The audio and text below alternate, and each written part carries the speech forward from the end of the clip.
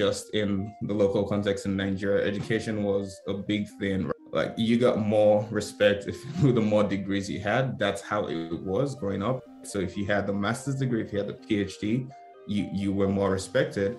And I also always tell this joke it was you were an engineer, a doctor, or a disgrace to the family. It was one of those.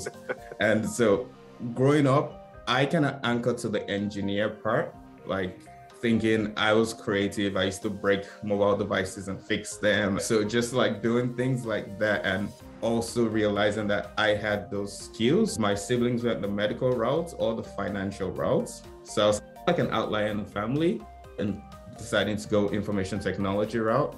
But I think I had enough confidence from my parents, like upbringing, where it was like you could be successful at, at whatever you did if you just diligent, you